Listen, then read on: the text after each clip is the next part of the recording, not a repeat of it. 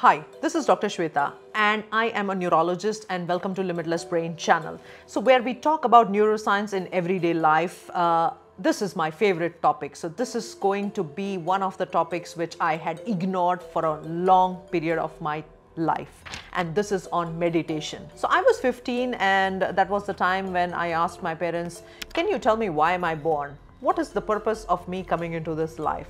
My parents were both into medical field and they wondered what kind of a question is that.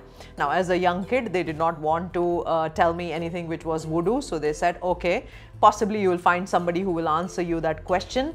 And lo and behold uh, a spiritual teacher came into my life. Uh, she was just the perfect uh, i felt because that was uh, the time when i had so many questions and so much to ask etc and then there became my there there began my uh, spiritual journey in that process, you know, my uh, spiritual teacher would teach meditation. I would go travel with her and uh, the morning, the first thing 4 a.m., we call it uh, a special time in the Indian Hindu tradition, etc. So where you wake up and then you do the meditation, I would always tell her that please do not take me because I am happy horizontally meditating.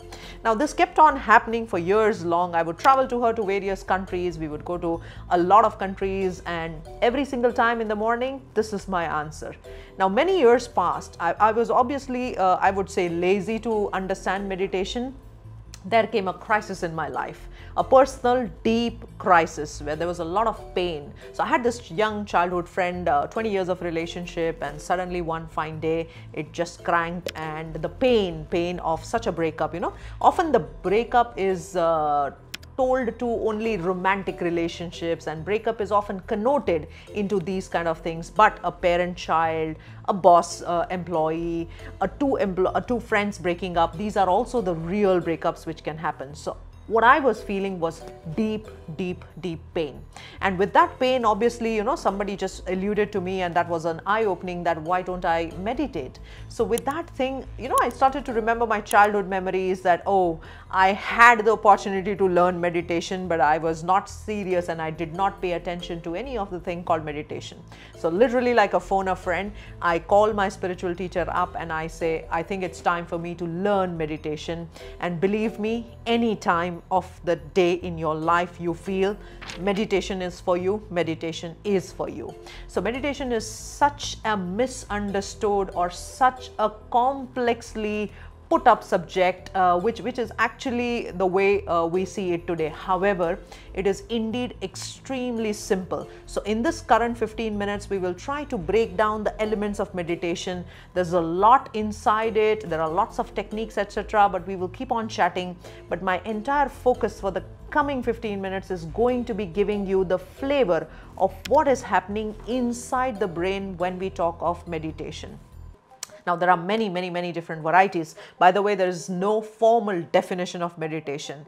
Meditation has been tried to be studied in various concepts with a definition, but it's there is literally a personal lack of consensus in the literature on the meditation and, and seemingly there are so many different varieties such as uh, Spanda Dhyan, Mantra Dhyan, Transcendental Meditation, Tratak Meditation, अरूप ध्यान भाव ध्यान प्रेक्षा ध्यान jain ध्यान kriya yoga many many many techniques but my job here today is to simplify this and put it in the right context and the right way of what really is happening in the brain when we meditate.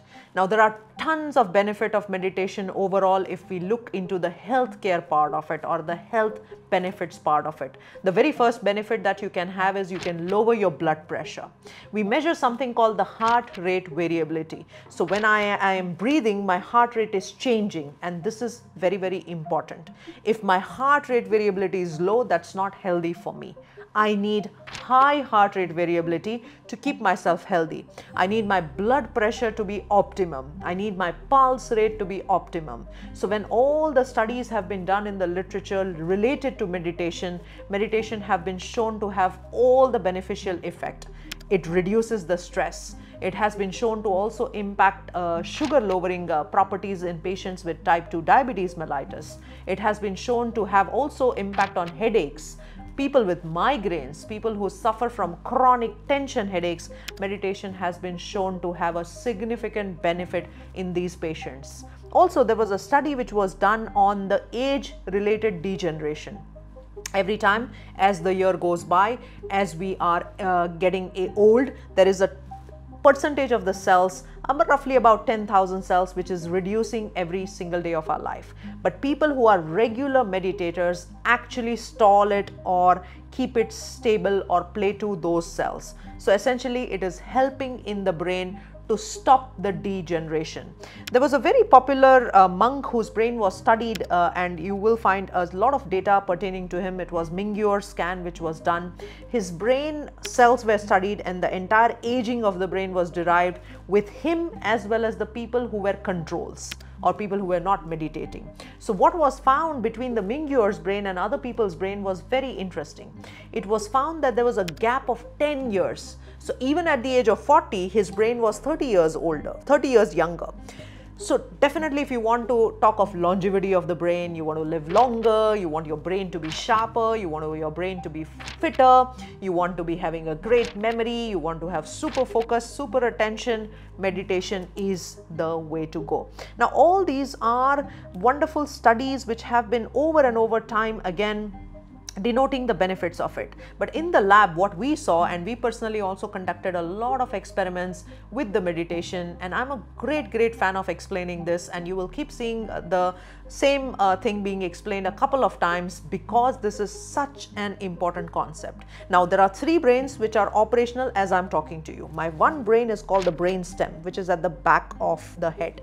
I have a slightly upper brain called the emotional brain, also called the limbic brain. So, limbic brain is essentially allowing me to get to the threat, to understand what is good for my survival. It is always in the emotional state of either fight, flight, fear or freeze. It is a protective mechanism and also obviously allowing me to care, allowing me to have all the positive emotions as well. And then if I go much higher, there is the prefrontal cortex or the frontal lobe. Now prefrontal cortex or the frontal lobe has been called the seat of human consciousness. The prefrontal cortex is all about what is good for me what is bad for me? Should I do this or should I not do this? It is about the judgment. It is about the morality. It is about the intuition that I can have. It is about choices. It is not about stopping the thoughts of the mind. It is not that you can pause your mind. Mind's own property is to keep on having a continuous flow of thoughts. So in this session, when we do often meditation, people come back and say that, hey, all the to-do lists came in, all the things that I did not want to think were part of my mind. This is a natural property. You cannot just tell your mind that, hey, stop thinking, which is, which is what we need to break the myth when we understand meditation. Meditation is not about relaxation. Meditation is not about sitting or sleeping or lying down or dancing. It is not about the physical artifact or the physical thing that you do. Meditation is not about putting a reins on your mind. These are all the preparation of meditation. So when we take these sessions in the limitless brain meditation, we often say that do not do meditation. Meditation must happen. Now, this is a very, very important thing to note that you don't need to do or pursue meditation. Meditation happens. And this happens over and over, over and over time when you start to practice it. Yes, sitting is very important, stilling and actually making a, a, a, a absolute vertical uh, posture is also very important because now you want your mind and the body to be still. That also has an influence and impact on the outcome of the meditation. Yes, you want sometimes some soothing music music to play because you want to get into the states from the beta which is the high functioning brain wave to alpha which is just a mild gentle sinusoidal wave to a little deeper slow wave called theta and sometimes people do fall off to sleep which is delta. So in the lab when we studied a few meditations so what we essentially do is we take a few controls where they're just playing some music versus a guided meditation which is happening with the subjects and we uh, use something called the EEG.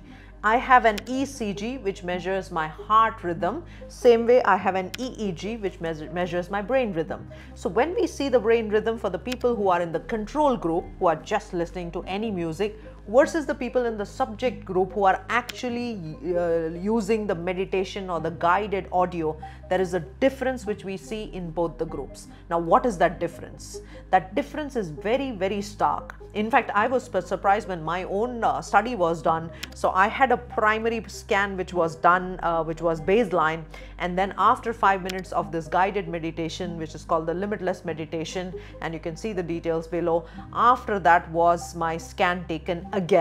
And what was seen was the theta, which is the slow rhythm in the brain, suddenly became high amplitude theta. So we do something called the power of each of the brain uh, waves and we take it to the lab and we study it. There was a marked difference in that theta. And for most of the people, the rise in the alpha and rise in the theta was seen. Now, I was talking earlier about the same topic that most people do not even close their eyes in the entire day. They do not allow the alpha to form. They do not go a little deeper to allow the theta to form. So, where is the question of their meditative experiences? Now, some people say, I saw a blue light, I saw a yellow light, I saw a red light. Now, please remember you can see anything. You can have the sensory experience or feeling of levitation or anything please do not get hooked onto that because the real real meditation is not about uh, the just the health outcomes that i talked about or just the uh, brain outcomes that i just spoke about. It is often deeper it is often spiritual in nature and we will keep on exploring this topic as we go along. But this was a very quick glimpse of what is really happening in the brain. So if you are completely naive to meditation like i was do not think twice do not worry about the type and the technique and the hula of it. Just start somewhere, sitting five minutes, eyes closed, watching your mind, just separating yourself from that mind because I think this is the space that we are talking about. And by the way, breathing helps a big, big, big time. We will be talking on one of the neuro breathing sessions about the types of the breathing and how breath forms the bridge to you and the mind. My last thought to you is we never say I mind or we never say I brain. We always say my mind and my brain. Do you know why do we do that? Because I am not the mind. Unfortunately, if my mind is sad, I become sad. If my mind is happy, I become unhappy. We have falsely connotated ourselves and attached to the mind, but that is not the case. So, I, as a witness of the mind and the brain, and this is the space that we need to keep creating when I do the right breathing technique and the meditation. So keep following us and we keep giving the tips related to the neuroscience with Dr. Sweta Adatia.